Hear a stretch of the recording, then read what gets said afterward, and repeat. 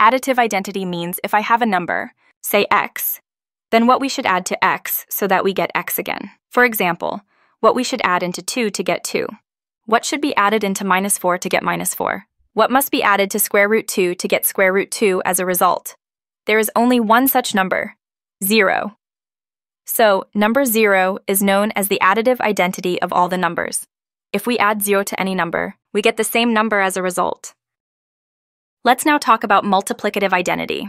The concept of multiplicative identity is same as additive identity. For addition, 0 is additive identity. Similarly, 1 is multiplicative identity. Means, what should any number, say x, be multiplied by to get x again? For example, multiplying 2 with 1, we result at 2. Multiplying minus 4 with 1 will give minus 4.